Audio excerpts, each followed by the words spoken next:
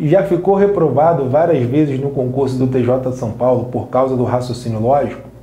Já pensou até mesmo em desistir de fazer o concurso por causa do RLM? Então, esse vídeo é para você. Sejam bem-vindos a mais uma estreia aqui no nosso canal. Para quem não me conhece, sou o professor Marcão e junto com o professor Renato Oliveira, somos os fundadores do Matemática para Passar e do famoso método MPP. Pessoal, qual é a nossa missão? Né? É transformar sonhos em realidade. Anote isso aí, transformar sonhos em realidade. Essa é a missão do Matemática para Passar, da família MPP. Mudar, né? transformar a história da sua vida, levá-los para um outro patamar. Né? Essa é a nossa missão aqui. Resumindo, ajudar o maior número de pessoas possíveis desse nosso Brasilzão. Então, pessoal, agora vamos lá. Energia lá em cima e tá aqui, ó. Qual é o assunto de hoje? Vamos lá, qual é o nosso aulão de hoje? Preste atenção aqui, ó tudo que você precisa saber para gabaritar RLM com o método MPP. Aulão TJ São Paulo. Para cima da banquinha Vunesp, repete aí na sua casa. Para cima deles e não deixe o inimigo agir. Ó. Juntos, vou chegar pertinho de você, de você, ó. conseguiremos essa vaga. Eu tenho certeza disso. E para mostrar para vocês que o impossível é possível, vamos a mais um depoimento de um membro da família MPP. É o depoimento da Giovana. Eu estou até repetindo esse depoimento, né? Eu coloquei esse depoimento no aulão de raciocínio lógico. Como esse aulão é específico para o TJ, cara, eu repeti esse depoimento, porque ele é sensacional. Né? E ele tem tudo a ver, né? com esse aulão. Por quê? Olha o depoimento da Giovana. Vamos lá, pessoal. Olha que depoimento bacana. Vamos lá, vê se não merece um repeteco. Olá, eu sou eternamente grata ao MPP por ter me ajudado na preparação do concurso do TJ São Paulo. Preste atenção agora, pessoal. Preste atenção. Fiquei em quarto lugar na classificação na minha cidade por sinal, uma das que tem a nota de corte mais alta do interior. Ó, o último concurso que teve. As aulas foram imprescindíveis para a obtenção do meu sucesso. Os professores Marcão e Renato são excelentes, muito didáticos, o que faz o cursinho se tornar extremamente leve e descontraído durante a aprendizagem. Sempre tive muita dificuldade em exatas, mas estes dois, ela se tornou algo muito tranquilo de lidar. Sempre indico o MPP aos meus colegas e amigos que estão se preparando para concursos públicos. Vocês são feras demais e excepcionais. Desejo muito sucesso à família MPP. Obrigada por estarem junto comigo nessa conquista. Abraços, Giovana. Giovana, muito obrigada, muito obrigado, perdão, pelo seu depoimento. Com certeza esse seu depoimento vai incentivar outras pessoas. E pessoal, esse é o nosso combustível. Essa é a nossa missão. Né? Isso mostra que estamos realmente no caminho certo que é o caminho da vitória, o caminho do sucesso. Né? E com o método MPP que nós desenvolvemos, o impossível é possível. Legal? Recadinho dado, né? Energia sempre lá em cima e vamos dar início ao nosso aulão. Vamos lá, pessoal, segunda-feira maravilhosa, né? E vamos que vamos. Olha aí, pessoal, nossas redes sociais, troco likes e sigo de volta. Vai lá no meu Instagram, tô precisando de seguidores. E agora, de verdade, ó, bola rolando no Maracanã, ó. Galera já sabe, né, ó? Caneta e papel na mão e vamos bater de verdade, né, na banquinha Unesp. Para cima deles. Vamos lá, pessoal, nossa primeira questão. Olha aí. Uma afirmação que corresponde à negação lógica da afirmação. Vou para a Colômbia e participarei de um congresso. Pessoal, método MPP, qual é o bizu para negar o E, a conjunção? Né? Troca, ó, troca, troca o E pelo OU e nega tudo. Escreve aí no bate-papo, pessoal, por favor. Vamos lá, galera do Face e do YouTube. Qual é a dica? Qual é o macete para negar o E de uma forma rápida e simples? Marcão, já peguei a manha. Troca o E pelo OU e nega tudo. Escreve aí no bate-papo. Troca o E pelo OU e nega tudo. Ó. Caneta e papel na mão. Então, pessoal, tá aqui. Ó. Vou seguir a regrinha. Troca o E pelo OU. Troca o E pelo OU e nega tudo. Vou para a Colômbia. Como é que vai ficar a negação disso? Não vou para a Colômbia. Participarei de um congresso. Negando, não participarei de um congresso. Lindão. Agora, opa, ó o inimigo agindo aqui, ó. Volta, rapaz. É o inimigo agindo aqui na nossa aula, é sem cortes. Vamos lá. Agora lendo a frase como um todo, ó. Vamos lá. Não vou para a Colômbia ou não participarei de um congresso. Olhando aqui as opções, qual é o nosso gabarito, jogador? Letra E. Não vou para ou não participarei, né? Do congresso, é isso? de um congresso. Sensacional! Primeira questãozinha foi para o saco. E você que está chegando agora, seja bem-vindo né, a mais uma estreia aqui no nosso canal. E na descrição do vídeo encontra-se o material da aula. Baixe o material da aula, pessoal, né, e faça a nossa pesquisa. Agora, todo aulão, né, para você baixar o material, tem uma pesquisa. Isso é muito importante. Essa pesquisa, né, você respondendo essa pesquisa aí de uma forma séria, de uma forma correta, isso vai ajudar a gente te ajudar. Porque fazendo a pesquisa, vamos com certeza melhorar os nossos alunos, porque a gente vai começar a entender o nosso público. Então, pessoal, é bem rápida a pesquisinha, né?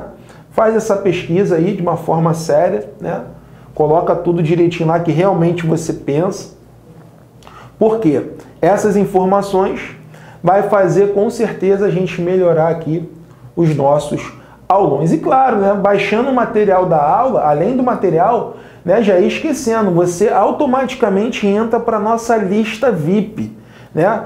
Todas as segundas e quintas você receberá conteúdos gratuitos e exclusivos. Né? Segunda-feira é dia de estudo tudo dirigido. Olha que lindo.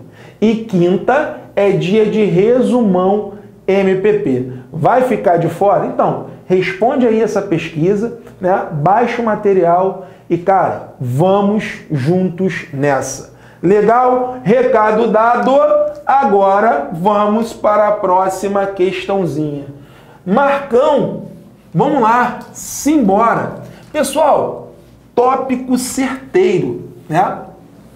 Negação e equivalência. Prova da VUNESP sempre cai negação e equivalência. E são questões que você não pode errar. Então vamos lá, pessoal. Olha essa questãozinha aqui.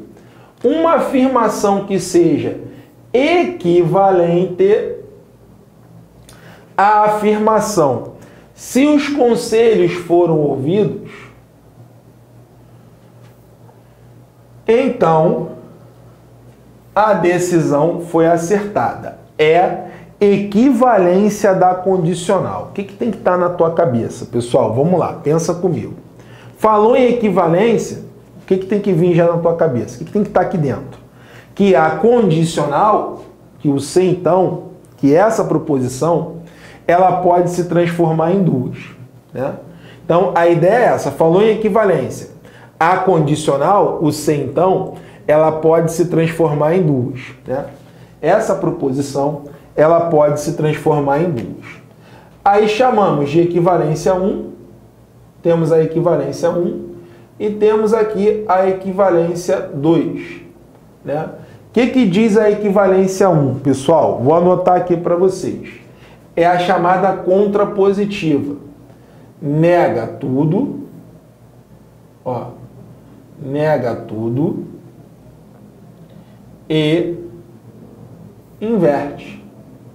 Tá aqui, ó, bonitinho para você, ó, a regrinha. Nega tudo e inverte. A segunda frase, a segunda proposição, a segunda regra de equivalência, que chamamos de equivalência 2, é a regrinha do Neymar. Nega a primeira ou mantém a segunda.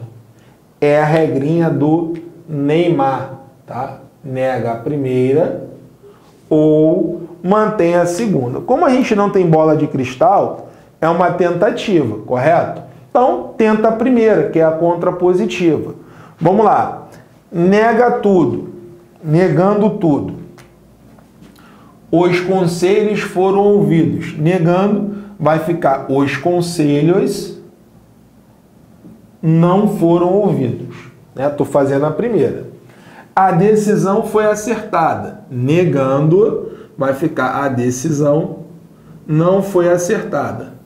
Agora, para ser equivalente, não basta só negar. Tem que negar e inverter. Então vamos lá, fazendo aqui a primeira equivalência. Faz um com a gentileza, galera do Face e do YouTube. Coloca aí no bate-papo, escreve. Você só vai aprender matemática e raciocínio lógico escrevendo. Como é que ficaria né, a primeira equivalência? Anota aí para mim no bate-papo. Como é que ficaria? Ó? Quem está atrás vai ficar agora onde? Na frente. Então ficaria como? Se a decisão não foi acertada, então os conselhos não foram ouvidos. Aí você vai olhar isso aqui nas opções. Tem isso nas opções? Não. Não tem isso nas opções. Marcão, eu marquei a letra A. É o inimigo agindo na tua prova. Parece que eu tô aí, né? Pessoal, na letra A, ele só inverteu. Ele não negou. E para ser equivalente, tá aqui, ó, a regra, né? A regra é clara nega tudo e inverte. Né? Aqui ele só inverteu. Então, pessoal, com certeza, resumindo a história, ele não usou a primeira equivalência. Então eu já vou apagar aqui. Agora, uma coisa é certa: se ele não usou a primeira, com certeza, com certeza ele usou a segunda. Se não é a primeira, resumindo, se não é a primeira, é a segunda. E o que, que diz a segunda regra? É a regrinha do Neymar. Nega a primeira ou mantém a segunda. E claro, troca o C então pelo ou, não pode esquecer disso. Vamos lá. Negando a primeira, os conselhos foram ouvidos. Vai ficar os conselhos não foram ouvidos. Ou, o que, que eu vou fazer agora? Eu vou trocar o C então pelo ou. Nesse caso, o C então sai da frase. E mantém a segunda. A decisão foi acertada. Fazendo a leitura da segunda equivalência. Os conselhos não foram ouvidos ou a decisão foi acertada. Olhando aqui as opções, coloca aí no bate-papo para o tio Marcos. Qual seria a opção correta, pessoal? Pô, Marcão, olhando as opções, o gabarito seria a letra B de bola. Nega a primeira ou mantém o quê? A segunda. Tudo lindo. Quebramos mais uma questãozinha da Bunesp e simbora para nossa próxima questão. Vamos lá, pessoal. Olha aí. Próxima questãozinha. Simbora, energia lá em cima. E vamos que vamos. Olha aí, pessoal, próxima questão. Considere as afirmações e o respectivo valor lógico de cada uma delas. Vamos lá. A primeira é verdadeira, a segunda é falsa, a terceira é verdadeira e a quarta é falsa. A partir dessas, dessas afirmações, perdão, é correto concluir. Então, pessoal, vamos começar né, a nossa análise com a segunda. Porque a segunda é uma disjunção. E só tem um caso que a disjunção, inclusive, é falsa. Né? É quando tudo é falso. Por isso que a gente vai começar por ali. Ok? Por que, que a gente vai começar pela segunda? Porque só tem um caso que dá falso. Qual é o único caso no ou que dá falso? É quando tudo é falso. Lindo? Então, começando aqui a brincadeira. Vamos começar pela segunda, né? Pela segunda. E depois a gente vai distribuir. Aí vai no efeito dominó. A gente vai encontrando os outros. Beleza? Então vamos lá. Para dar falso, o que, que diz a tabuada do ou? Método MPP. Tudo F dá F, não é isso? Então só vai dar falso quando tudo é falso.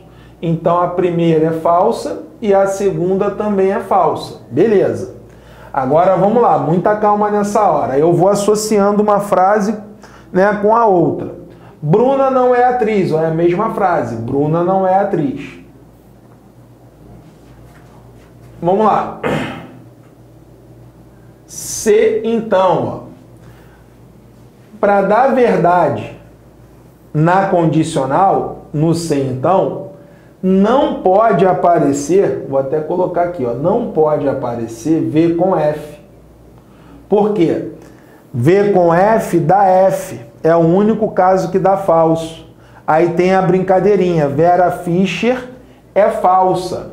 Só que o resultado não é falso, o resultado é verdadeiro. Então, pessoal, na condicional, sempre que ele falar que é verdade, que é verdadeira, não pode aparecer V com F. Isso aqui não pode aparecer. Ó. Então, vamos lá. Se a segunda é falsa, se a segunda é falsa, para não aparecer V com F, a primeira tem que ser falsa. Marcão, entendi. Né? A primeira tem que ser falsa para não aparecer o V com F. Exatamente. Aí a gente vai brincando. Antônio canta bem.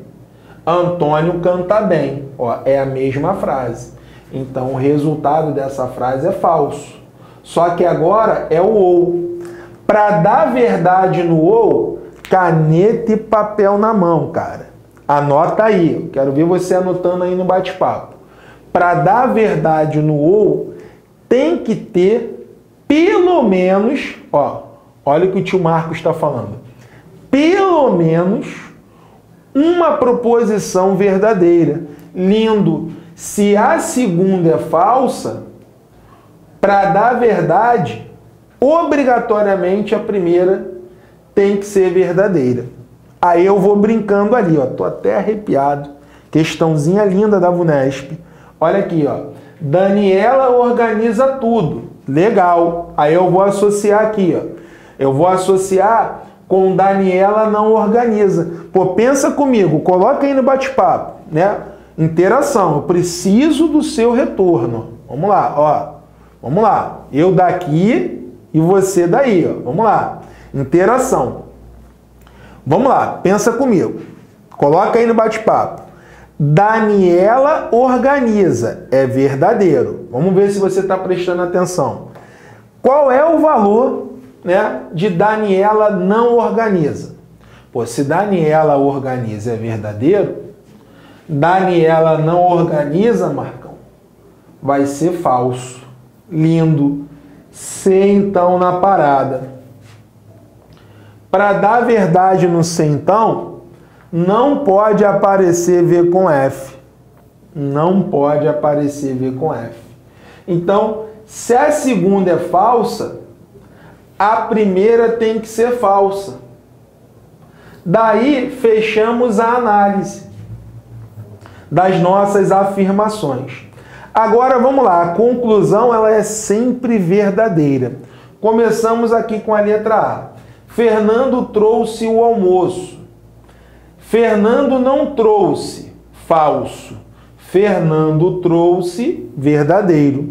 No ou, se um for verdadeiro, já garante que o resultado é verdadeiro. Não vou nem olhar as outras. Qual é o nosso gabarito? Letra A. Por que, Marcão? Estou te dando poderes. No ou, qual é a tabuada do ou? Tudo F dá F. Então, só tem um caso que dá falso no ou, né? Quando tudo é falso. Pô, Marcão, então vamos lá. Se eu tenho 100 falsos e um verdadeiro no ou, o resultado será verdadeiro? Sim.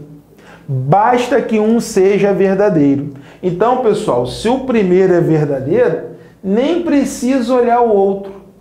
Né? Qual é o resultado final? Verdadeiro. Legal? Passamos para nossa próxima questãozinha. Vamos lá. Olha aí a nossa próxima questão, pessoal é uma tendência das provas atuais da VUNESP, VUNESP. É uma é atual as questõezinhas, né, de 2019, né? Aqui tá todo mundo atualizado, né? Aqui, ó, de novo, caneta e papel na mão e simbora para essa questãozinha de diagramas, né? Considere que acha elementos em todas as seções e interseções do diagrama. A partir das informações é correto afirmar. Vamos lá, pessoal. Preste atenção. Qualquer elemento de C que não é elemento de B é também elemento de A ou D. Vamos lá. Qualquer elemento de C, ó. C é esse conjunto aqui, ó. Qualquer elemento de C que não seja de B é também elemento de A ou D? Não. Por exemplo, esse cara aqui, ó, ele é elemento de C, não é elemento de B e também não é elemento nem de A né, e nem de D. Então a letra A está furada. Eu não posso garantir isso para você. Legal? Vamos lá. Feito a análise da letra A, é tudo no desenho. Todos os elementos de D que não são elementos apenas de D, são também elementos de A, B e C, também está errado. Olha esse cara aqui, ó. Olha esse cara aqui todos os elementos de D, que não são elementos apenas de D. Ó, tô dando um exemplo, esse cara aqui, ó. Porque esse cara é elemento de A e é elemento de D, né? Então tô dando como exemplo esse cara aqui. Aí olha o que ele está falando. São também elementos de A, B e C? Não. Nesse caso aqui ele é só elemento de A. Só que aqui ele está falando que é de A, B e C. Então tá furado. Legal? Passamos para a próxima questão. Lágrimas vão rolar, né? Engole o choro e se embora. Cabeça de gelo, né? Não vai abrir o berreiro aí não. Segura o tchan aí, né? Vamos lá. Letra C. Qualquer elemento que pertença a três desses conjuntos pertence ao conjunto B? Vamos analisar. Aqui, ó. Esse cara aqui, ó. Ele pertence a três conjuntos, correto? Só que ele não pertence ao B. Então a letra C está furada. Show de bola? Passamos para a letra D de Deus. Dentre os elementos que pertencem a 2, e apenas dois conjuntos, não há elemento de C que também seja elemento de A. Pessoal, olha aqui, ó. O que ele está falando. Dentre os elementos que pertencem a dois e apenas dois conjuntos, não há elemento de C que também seja elemento de A? Está errado. Aqui, ó. Pertence apenas dois conjuntos e pertence, né, a C e também pertence a A, tá? Então, a letra D também está errada. É tudo no desenho. Legal? E por fim, ó, vou apagar aqui para não embolar. Analisando a letra E, que só pode ser o nosso gabarito, correto? Todo elemento de A que não é elemento de B e nem de D é também elemento de C ou apenas de A? Sim. Ó, vou até pintar essa região. Ó. Todo elemento de A que não é elemento de B e nem de D. Ó. Seriam esses caras aqui. Ó. Ó. Tô até pintando aqui. Ó. Todo elemento de A, eu até pintei para você enxergar melhor. Todo elemento de A que não é de B e nem de D, ó. seriam esses caras aqui, ó, que eu pintei. Ó. Aí ele fala, é também elemento de C? Sim, porque está pegando essa região. Ou elemento apenas de A. Corretíssimo. Gabarito, letra E de eu vou passar no TJ São Paulo. Cara, é isso aí, né?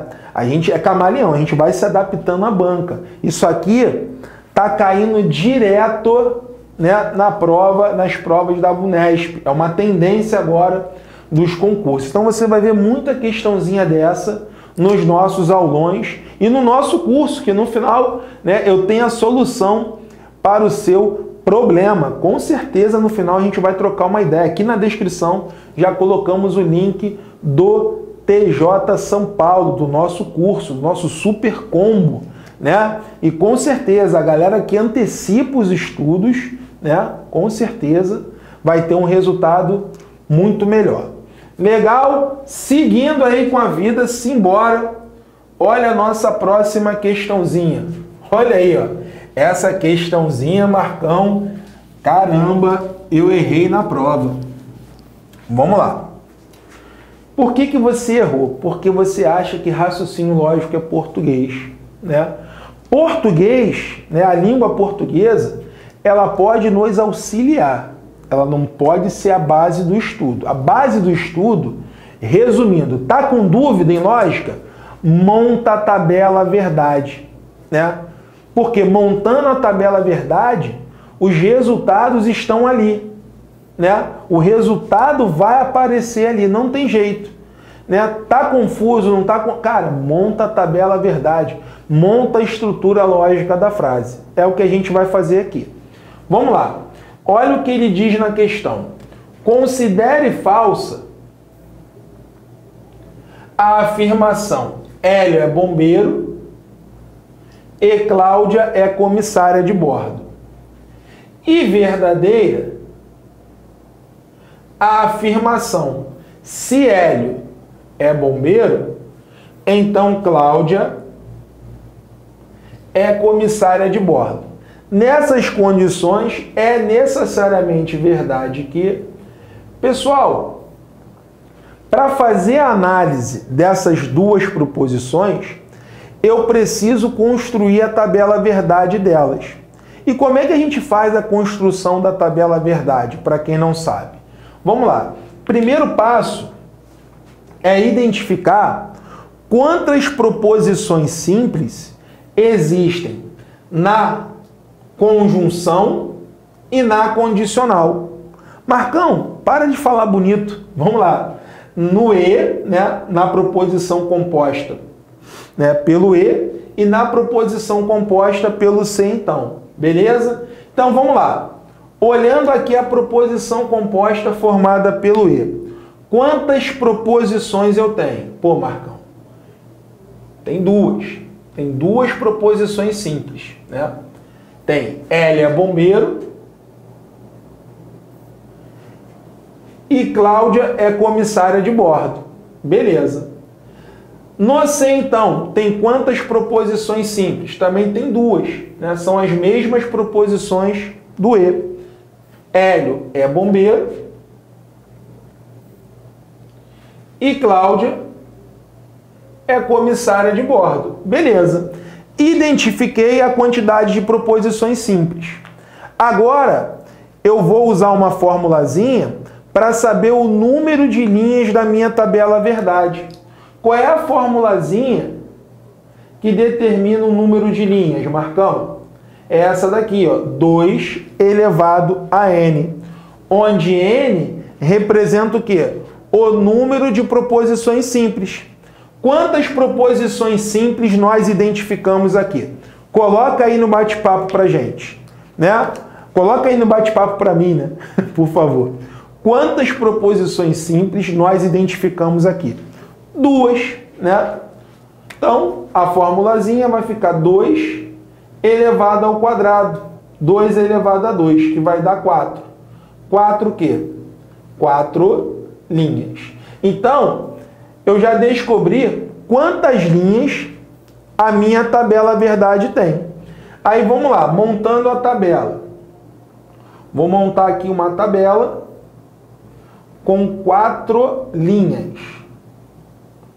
A primeira linha não conta, que é como se fosse.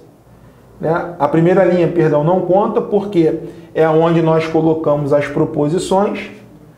Agora começa a contagem. Uma, duas, três e aqui quatro. Perfeito. Agora vamos lá. Ah, Marcão, tá torto. Cara, se liga aí, né? Se liga. Vamos lá. Agora eu vou montar aqui as colunas, né? Para a gente identificar as proposições. Deixa eu marcar aqui, ó. Aqui, tá bom. E diminuir um pouquinho aqui. Beleza. Essa é a nossa tabela verdade. Vamos entender agora a nossa tabela. Estou te dando uma mini aula, hein? As duas primeiras colunas estão sempre associadas às proposições simples. A primeira coluna, ela está associada à primeira frase. Qual é a primeira frase? Hélio é bombeiro. Eu vou representar simbolicamente essa frase pela letra H. Então, a primeira coluna está representando a primeira frase né? Hélio é bombeiro. A segunda coluna vai representar quem? A segunda frase, a segunda proposição. Cláudia é comissária de bordo, que eu vou chamar de C. Beleza?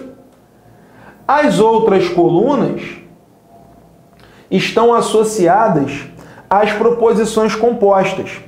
Uma é a conjunção, que é o E, e a outra é a condicional, que é o C então. Como é que ficaria a representação simbólica dessa frase? Né? Qual é a representação simbólica do E? É o chapeuzinho. Então, para quem não lembra, a representação do E seria o chapeuzinho. Então, essa coluna aqui, ó, ela está representando essa frase, resumindo a história, que é a conjunção. E essa coluna aqui vai representar essa outra frase, essa outra proposição composta, que seria: se Hélio é bombeiro, então, ó, então Cláudia é comissária de bordo. Então tá tudo lindo. Representei aqui as frases e agora eu vou fazer a análise da minha tabela verdade. Vamos lá, pessoal. A referência é sempre as duas primeiras colunas. A partir dessas duas primeiras colunas é que eu encontro o resultado das outras. E como é que funciona a montagem dessas duas primeiras colunas? Vamos lá. Vamos utilizar a técnica da metade. Né? A primeira coluna é sempre a metade do número de linhas. Então, pergunta aos senhores, né? A nossa tabela verdade tem quantas linhas? 4. Qual é a metade de 4? Né? 2. Então, pessoal, a primeira coluna, olha que legal, terá duas verdadeiras e duas falsas. Sempre assim. Ah, Marcão, entendi. Então, se a minha tabela verdade tivesse oito linhas, né? Como é que ficaria a primeira coluna? Quatro verdadeiras e quatro que? Falsas. Legal? A segunda coluna vai ser a metade da primeira. Aí segue a técnica da metade. Ó, a primeira, duas verdadeiras e duas falsas. Pô, a segunda vai ser metade. Então vai ser uma verdadeira e uma falsa, uma verdadeira e uma falsa. Aí vamos lá, montando agora a tabela verdade do E. O que, que diz a tabuada do E? Né? Tudo V dá V, caso contrário dá F. Então, ó, verdadeiro com verdadeiro vai dar o quê? Verdadeiro. Verdadeiro com falso vai dar o quê? Falso. Falso com verdadeiro vai dar o quê? Falso. E falso com falso vai dar o quê? Falso. Por quê, Marcão? Porque só dá verdadeiro quando tudo for o quê? Verdadeiro. Agora vamos lá. Coluna do C então, o que, que diz a tabuada do C então? V com F dá F. Caso contrário, dá V. Então, ó, V com V dá V. F com V dá V. E F com F dá V. Então, tá aqui a tabela verdade dessas duas proposições. Agora vamos lá, pessoal. Agora vamos quebrar a questãozinha. Já te dei uma colher de chá, né? E agora vamos atacar a questão. Eu vou olhar na tabela em qual situação a conjunção é falsa e a condicional é verdadeira. Ó, resumindo a história. Eu vou olhar aqui na tabela, né? Qual é a situação que a conjunção, que é o E, é falsa e a condicional, que é o C, então, é verdadeira. Qual é a linha que isso acontece? Pô, Marcão, isso acontece na terceira e na quarta linha. O E é falso e o C, então, é verdadeiro. Aí ficou fácil, né? Eu já identifiquei quais são as linhas da tabela verdade que isso acontece que o E é falso e o C então é verdadeiro. Encontrando essa linha, eu já posso falar para você qual é o valor lógico de Hélia bombeiro e qual é o valor lógico de Cláudia comissária de bordo. Por quê? A primeira linha, ó, não é o H? E o H representa qual frase? Hélia bombeiro. Vamos analisar nessas duas situações. Ó. Hélia bombeiro nas duas situações, nos dois casos, Hélio é bombeiro permaneceu com o mesmo valor. Então, eu já tenho uma certeza, né? Hélio é bombeiro é uma proposição falsa. Por quê? Em ambos os casos, ó, tem duas situações. Na primeira, é falso. Na segunda, também é falso. Ou seja, Hélio é bombeiro. Qual é a conclusão que você chega? Que essa proposição ela é falsa. Agora, olha aqui, ó. Cláudia é comissária de bordo. Nada posso afirmar em relação a ela. Gerou uma dúvida. Por quê? No primeiro caso, ela é falsa e no segundo, perdão, no primeiro caso ela é verdadeira e no segundo caso ela é falsa. Então, Cláudia é comissária de bordo é duvidosa. Nada posso garantir em relação a ela, porque ela pode ser verdadeira ou falsa, dependendo da situação. Feito isso, pessoal, olha que legal. Vamos lá. Hélio é bombeiro. Isso é verdade? Não. Hélio é bombeiro é falso. Cláudia não é comissária de bordo. Duvidoso. Nada posso declarar. Hélio não é bombeiro. Opa, verdadeiro. Porque Hélio é bombeiro, não é falso? Então, Hélio não é bombeiro, será verdadeiro. Então, pessoal, qual é o nosso gabarito? Letra C de churrasco da aprovação. Tio Marcos, resolve a letra D e a letra E que eu estou desesperado. Legal, vamos lá. Cláudia, comissária de bordo? Duvidoso.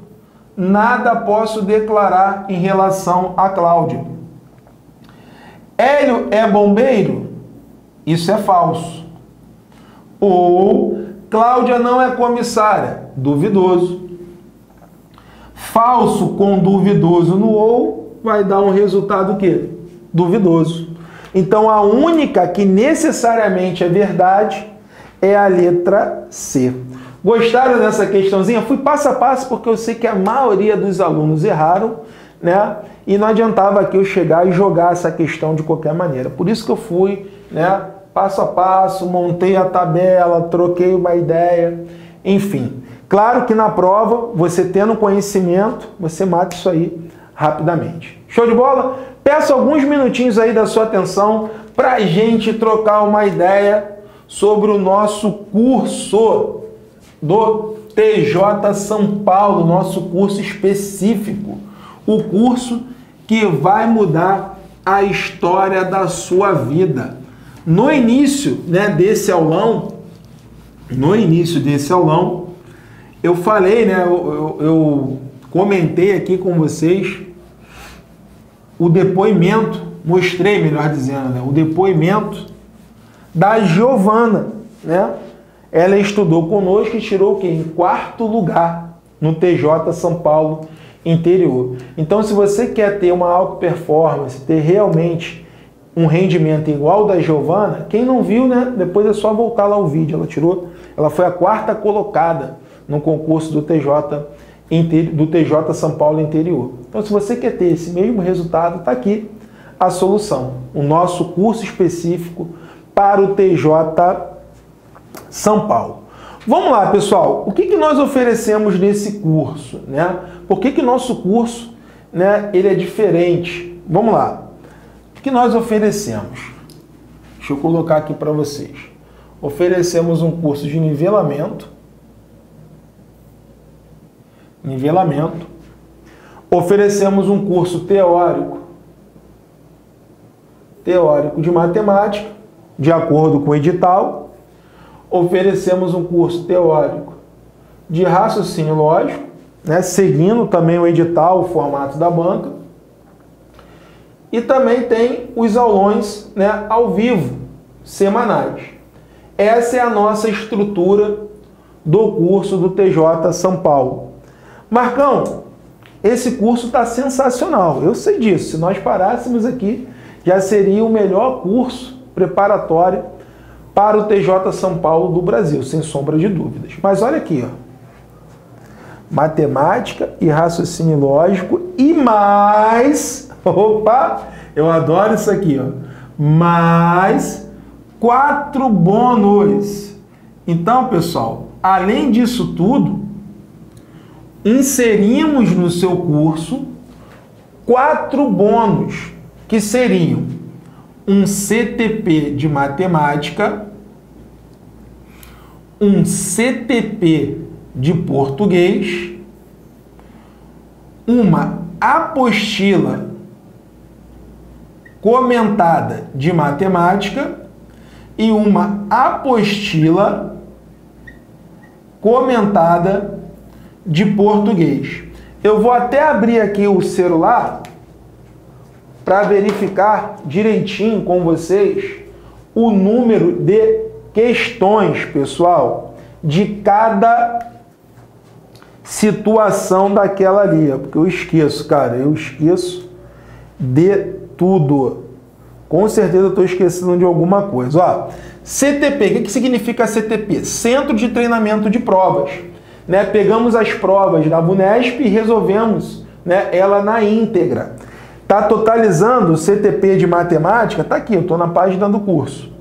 Matemática temos 236 questões né, resolvidas. O CTP de português, 100 questões. Você está levando aí de brinde também. Tá? Juntando as apostilas de matemática e raciocínio lógico, tá? totalizam 583 questões. E eu já ia esquecendo. Né? Olha aí, ó. Tem ainda, vou colocar até de vermelho. Isso aqui conta como um só, tá? E tem ainda 14 simulados. É isso, gravados da banca Vunesp. Vunesp. Então ainda tem 14 simulados que eu ia esquecendo. Marcão, qual é o valor do meu investimento? Tá aqui, ó. Se nós fôssemos cobrar por tudo isso, o valor do seu curso sairia por R$ 819,40. Calma, muita calma nessa hora. Mas hoje você vai pagar 10 de 20 reais e 99 centavos. Esse é o valor do seu investimento. Esse curso está 74% off. Olha que bacana, pessoal. Esse é um investimento, resumindo, para mudar a história da sua vida. Aí é o que eu sempre falo, qual é a sua prioridade, né? E pessoal, a ideia é a seguinte: antecipe os seus estudos. Falando em TJ São Paulo, a antecipação ela é fundamental. É um concurso, é uma concorrência muito acirrada que às vezes um pontinho né, que você deixa de acertar, uma questão que você erre, te joga lá para trás. E você acaba perdendo a tão sonhada vaga.